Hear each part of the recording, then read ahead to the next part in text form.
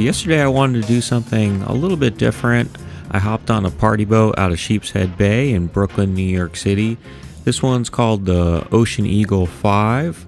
It was with uh, Captain Greg and uh, really great crew, just super nice people. You know, it was a small group of us out that day and I had a blast. You know, I've been wanting to go out and make a triggerfish video all summer. I just, it's been out of my mind, just focused on other things. But yeah, we caught a ton of fish. We, you know, it was a bottom fishing trip, you know, focused primarily around porgy.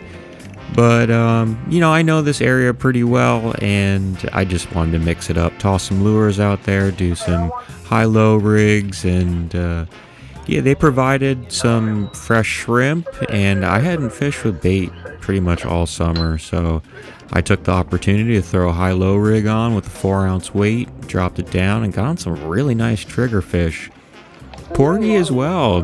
Porgy, you know, and other species. There, there's some cow nose rays that were all over the place this day. A couple other anglers got into them, and you know, dogfish, black sea bass, um, a couple random tautog catches. Yeah, just a good day. You know, I had a lot of fun. The the crew was really patient with everyone. You can you can tell, and the captain knew this area like the back of his hand. I mean, he was Captain Greg was really awesome about just explaining on the loudspeaker what was going on in his head with the sonar, his next moves, what how he was feeling about the spot, how close he was to certain pieces of structure and drop offs and wrecks. And, you know, if you know how sonar works, it was really in tune with, you know, the fishing we were doing simultaneously. So, like, anytime he would explain something, it, it was totally in sync with you know the drops that I was making. So I really appreciated that. You know, it's um, that goes far. You know, just being in sync, the captain and the crew and uh, everyone that's fishing. You know, it was a good time.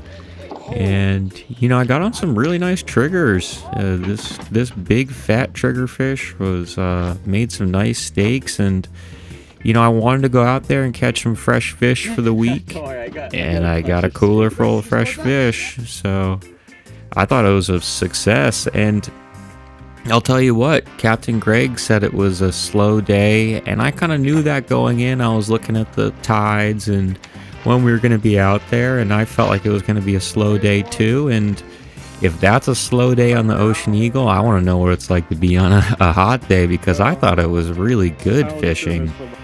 And yeah, just all positive things to say about the Ocean Eagle 5. I'll be back for sure. I felt like the rate was very fair and just a good time. You know, if you're a beginner, if you're advanced, I saw both sides and the crew was patient with everyone. I learned a lot while I was on it and I can't wait to be back.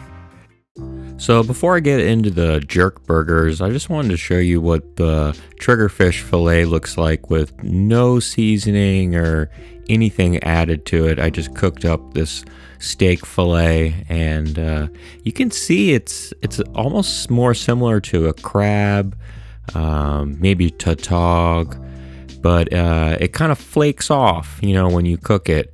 Uh, very moist, very tender meat. Um, honestly, if you were to put this side by side with chicken, I think that you could barely tell the difference. I think the triggerfish would have a little more oil to it, you know, it being a fish, but it's it's really mild meat and almost more mild than porgy and really really delicious. But yeah, I was really craving some just some Caribbean spices and just kind of that that realm of heat of those peppers that, that are kind of cooked with in the Caribbean. And so I was thinking, you know, some kind of cheaper um, saltine based uh, croquet or burger. I'll call these jerk burgers, but you know, just playing off of uh, jerk chicken kind of seasonings and rubs and incorporating it into the trigger fish and uh, turning it into like a patty.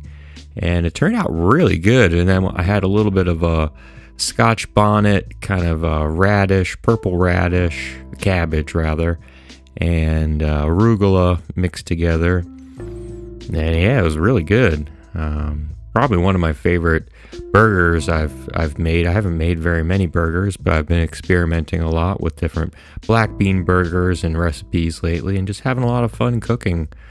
But yeah, this turned out really good. I was happy with it. It was spicy, it was moist, and it was just nice to get those Caribbean spices that I was craving. And thanks for watching, and I'll catch you all in the next one.